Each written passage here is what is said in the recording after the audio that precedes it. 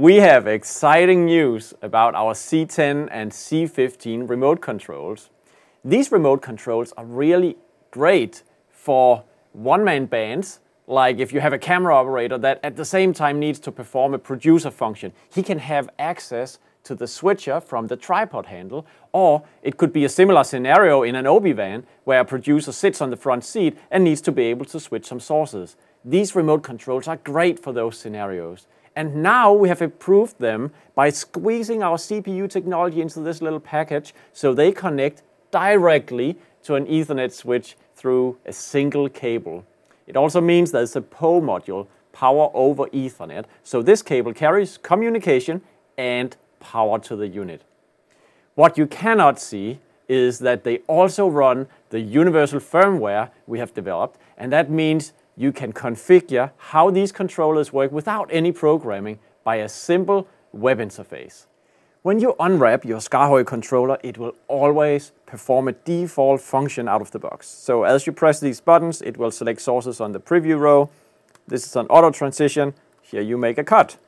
But it's never limited to that because we have the web interface that will allow you to change this. But let's first look at how this controller shipped with the default configuration. So if we load the configuration interface for the controller, what we see is first a graphical representation of the controller. So very easily you can identify what this button does by clicking the button in the interface and it will jump right down to configuration. And you see for this button, it will issue an ATEM auto command for ME1 you see from the list of features that we could have selected many other things like fade to black or transition style of a particular sort, etc.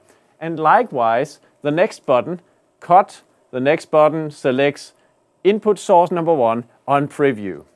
Now, these controllers are great for different hardware scenarios because we built something called presets into the configuration utility. And what it means is that the whole um, configuration of the controller can be changed by a simple push of the button when you boot the controller, including the IP address. So we could use the controller with this setup, but unplug it, move it to another hardware context with a different IP setting and network and switcher, and boot the controller with another preset that works over there. So how do we do that? Well, let's try. So we now bring the controller into configuration mode with the tip of a pen. We push the button here on the bottom of the controller, hold it until the LED lights up blue. And then we have access to the web interface behind me.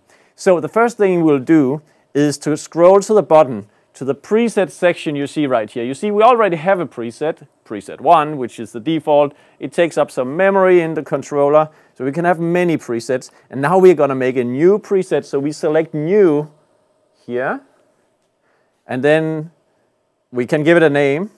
So let's say I want to create a preset for the hardware context of uh, my friend's uh, video show. Okay. So save to.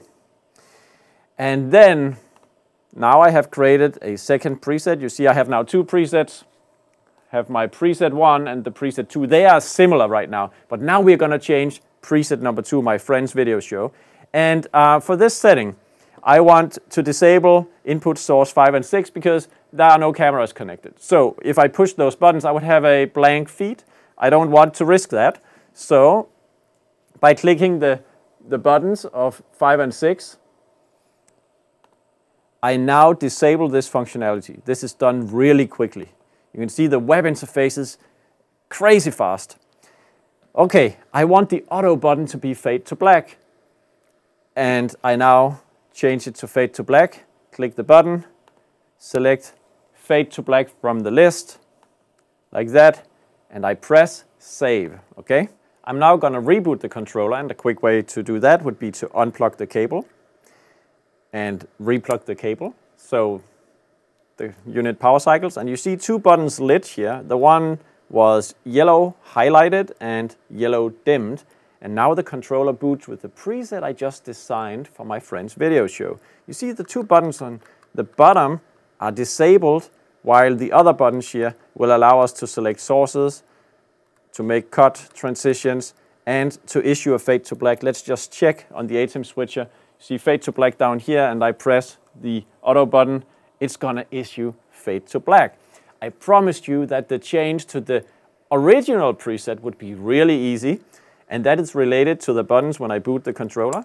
So quickly look here, and there we go. You see this one is highlighted, the other one is not, but I hold it until it lights up red, and now I go back to preset 1, the original preset, and you see now the controller boots for this hardware context.